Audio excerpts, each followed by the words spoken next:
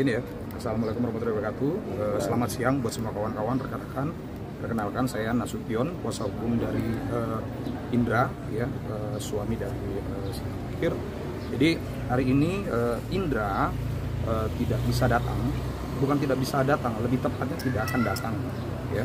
Karena pertama eh, dia masih shock ya dengan eh, gugatan yang dilayangkan oleh eh, Sinta di sini ya. Gugatan dilayangkan oleh Sinta itu membuat dia shock sampai hari ini. Dia tidak percaya, dia pikir ada keributan-keributan kecil yang berujung pada nantinya bisa perdamaian. Dan perlu kawan-kawan di sini ketahui saya dan Bang Sunan itu rekanan. Bahkan di atas panggung kita berjanji kita berikrar sama Bang Sunan ya di atas maaf di atas pelaminan gitu ya di depan mereka berdua bahwa kita sepakat kalau terjadi apa-apa di antara mereka gitu ya jangan kami kuasa hukumnya. Tapi pada akhirnya hal yang tidak kami inginkan terjadi gitu ya. Nah untungnya Bang Sunan adalah di sini sebagai kuasa hukumnya dan saya akhirnya eh, dipilih sama Indra untuk menjadi kuasa hukum agar komunikasinya biar lebih lancar gitu ya. Agar komunikasi lebih aktif. Seperti tadi yang sebelum bicara sama kawan-kawan saya ngobrol sama Bang Sunan itu baiknya gimana? Karena gini eh, permasalahan itu tidak permasalahan yang istilahnya besar gitu yang seharusnya bisa disederhanakan dan bisa diselesaikan. Saya maupun Bang Sunan gitu ya berharap mereka itu bisa damai kembali, bisa rujuk kembali gitu ya, bisa rujuk kembali. Kalaupun sampai di titik final mereka sudah menentukan pilihannya untuk berpisah, kami harap berpisah baik-baik saja.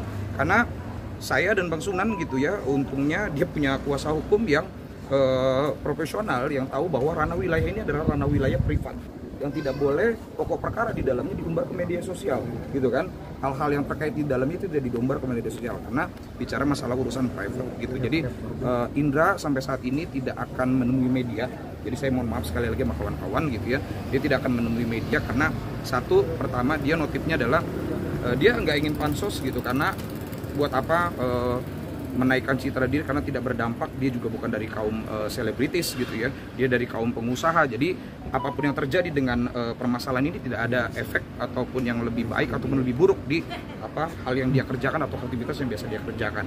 Gitu sih. Jadi saya mohon maaf sekali lagi Indra untuk saat ini tidak bisa datang ke stasiun mana pun diwawancarai secara langsung gitu ya ataupun berhadapan di kamera secara langsung. Jadi diserahkan ke saya untuk segala sesuatunya bisa dibicarakan. Nah tadi kembali sudah koordinasi dengan Bang Sunan juga bahwa kita sepakat berusaha mendamaikan kedua belah pihak. Dan kalau memang sudah terjadi nanti akhirnya perceraian kita sama-sama sepakat tidak perlu mengumbar segala sesuatu yang terjadi di dalam rumah tangga. Cuma dapat kita pastikan hal ini adalah hal yang seharusnya bisa diselesaikan gitu ya. Ada pertanyaan dari kawan-kawan. Oh, tapi sekarang masih satu rumah masih Jadi begini, kalau saat ini ya, ini sebenarnya sudah ke pokok perkara ya. Saat ini memang sudah tidak bersama lagi, ya sudah tidak bersama dan lagi eh, sudah di rumahnya masing-masing gitu ya. Tapi komunikasi beberapa yang lalu masih terlihat lancar gitu ya. Tidak ada kekerasan eh, fisik yang berarti gitu ya. Tidak ada istilahnya eh, perselingkuhan dan sebagainya. Ini ada hal-hal yang seharusnya masih bisa dibicarakan. Hanya saja kembali saya bilang dan saya ingatkan ke kawan-kawan, saya dan Bang Sunan dan juga eh, eh, mengacu kepada hukum yang berlaku, ada hal-hal yang tidak bisa disampaikan eh, di publik karena terkait masalah urusan private gitu kan. Tapi yang pasti poin utamanya adalah kami berusaha mendamaikan pada saat ini, memediasi mereka untuk kembali. Kalau memang sudah final putusannya, mereka eh, tidak bisa melanjutkan, berarti kita selesaikan secara baik-baik. Kan ini kan lagi? sidang sidang perdana ya. Ah, ah. Harusnya eh, kedua belah pihak hadir. Betul, prinsipal harusnya wajibnya hadir. Nah, saya kehadiran saya di sini adalah pertama eh, membuat itikat baik.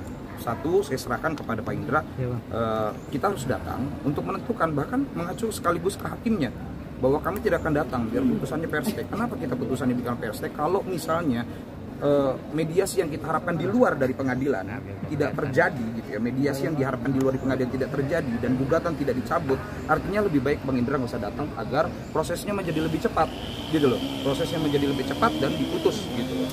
Ada lagi?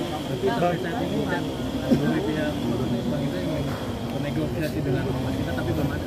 Jadi gini, kalau dari pihak Bang Indra maupun Bang- eh, maupun eh, Sinta tidak ada negosiasi seperti ini. Tidak ada. Sinta mengajukan gugatan berarti memang dia yang sudah memutuskan untuk berpisah dan Indra sendiri di sini kan eh, kaget ya kan. Kalau memang begitu jalan dia merasa ya harga diri saya sudah diinjak-injak dengan cara dia eh, melaporkan eh, sorry maaf me- melakukan gugatan gitu ya ke Pengadilan Agama Jakarta Timur. Dia ngerasa oh begitu tanpa izin dan sebagainya. Cuma kembali lagi saya dan kuasa hukumnya itulah sahabat gitu loh sudah sahabat kita sudah berjanji ya sudah ini kita damaikan. Kalau tidak bisa didamaikan, kita selesaikan dengan cara baik-baik. Saya bukan pengacara yang termasuk Sunan juga bukan pengacara yang ngurusin urusan perceraian. Bukan yang berharap ada nama Sunan Kalijaga atau Sarif Hidayatullah Nasution gitu ada di putusan perceraian yang ikut membantu perceraian yang kawan-kawan kita yang nikahnya bareng kami saat itu sama-sama hadir gitu maka sama-sama di pelaminan. Ada lagi? Bung shocknya Indra itu seperti apa? Apa tuh? Shocknya Indra itu seperti Jadi shocknya Indra itu jadi begini. Gugatan itu dilayangkan pada tanggal 7 Juli, gitu kan. Komunikasi dengan Sinta itu masih berjalan seperti biasa. Komunikasi by WhatsApp gitu kan, ya, by WhatsApp ada hal-hal lain dan dan ada bertemu gitu ya, tapi saya nggak bisa eh, konteksnya tidak bisa saya jelaskan lebih dalam di sini ya. Ada ada ada pertemuan dan masih masih konteks dan itu yang bikin yang jadi shock gitu karena setelah tanggal 7 mereka masih melakukan pertemuan mereka juga masih e, melakukan chat seperti biasa komunikasi tentang bagaimana di rumah gitu kan. Dia berangkat kembali ke, e, ke Bali kemarin juga Indra tahu gitu kan. Apa-apa saja itu saja sih. Itu yang membuat shock seperti itu. Kok begini gitu loh. Nah, Indra saat ini dari tahap e, selain shock dia juga e, sedang emosional gitu ya. Jadi tidak stabil makanya dibiarkan dulu dia tidak berharap tidak bertemu kawan-kawan dulu, kawan-kawan media dulu agar tidak ada hal-hal yang harus dikeluarkan dengan tidak layak dari mulutnya gitu loh. Yang, yang nanti bakal menjadi uh, apa namanya masalah hukum yang baru. Ada lagi